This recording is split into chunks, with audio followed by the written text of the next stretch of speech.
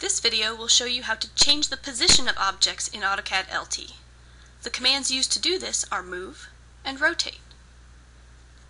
Let's start with the move command.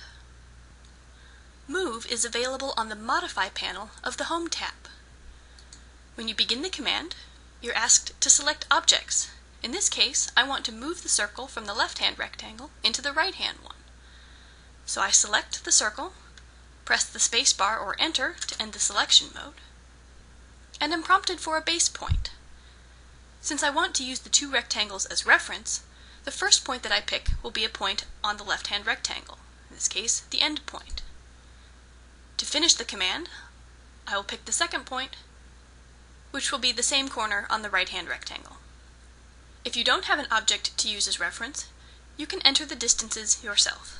To move the circle outside the rectangle, I start the move command again, select the circle, press the spacebar, and in this case I can pick anywhere in the drawing, for example outside the rectangle.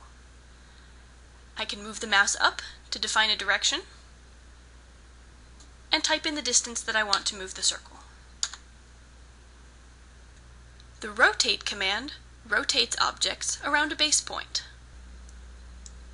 Rotate is also available on the Modify panel of the Home tab. When you begin the command, you're asked to select objects. In this case, I want to rotate this triangle. So I select the triangle and press the spacebar or enter to end the selection mode. Next, I'm asked for a base point, which will identify the center of rotation. For example, I can choose the end point of one of the sides of the triangle. The final prompt is for the rotation angle.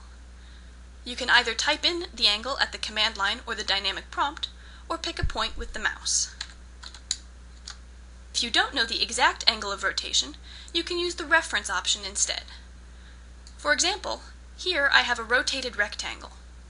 I don't know the angle at which it is rotated, but I want to rotate it so that the long side is horizontal.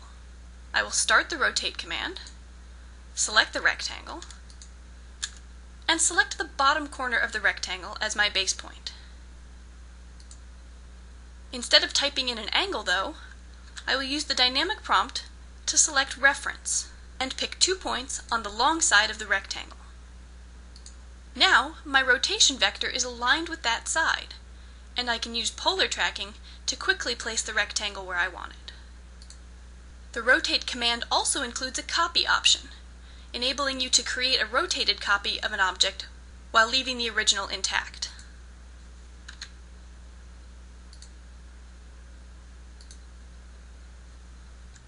Now you have seen the move and rotate commands, which are the two ways to change an object's position.